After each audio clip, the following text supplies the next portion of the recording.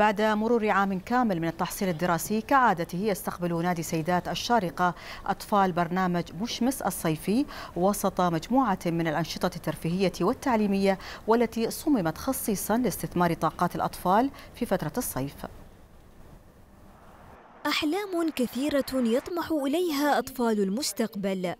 وحمد السويدي التي تبلغ من العمر أحد عشر عاماً تهوى التصوير الفوتوغرافي. وتطمح للاحترافية.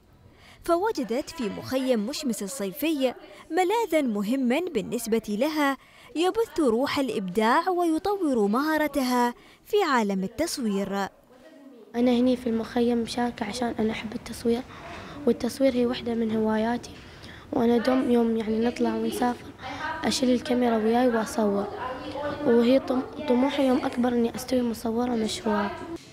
وفي الوقت نفسه تستمتع صديقاتها الأخريات في أجواء المخيم عبر باقة منوعة من الأنشطة الفنية والرياضية والترفيهية وغيرها التي تناسب كافة الفئات العمرية بشكل يتماشى مع هدف المخيم وهو تحفيز الطاقات وتكريس القيم الإيجابية.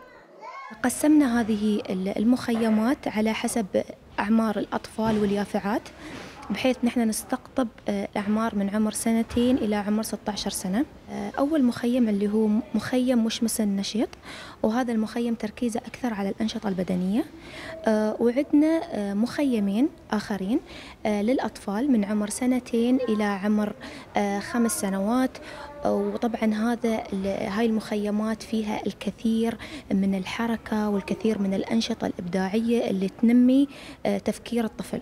بنحاول دايما نخلي الأنشطة أنشطة حسية يستخدمون فيها الأطفال إيديهم بعيد عن التكنولوجيا وعن الشاشات لأن في الوقت ده وفي العصر ده أصبح الأولاد يملوا بسرعة. فدايما نشاطاتنا بتكون حركية دايما نشاطاتنا بتكون سريعة ومدتها قصيرة.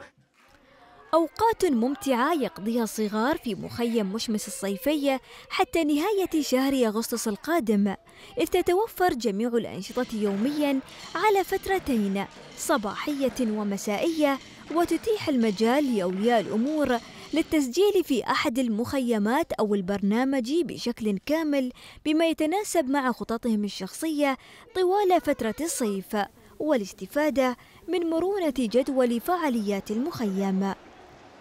أنشطة متنوعة تلامس اهتمامات الأطفال بطريقة تعليمية وتثقيفية في آن واحد وهي في النهاية تشغل أوقات فراغهم بكل ما هو ممتع ومفيد.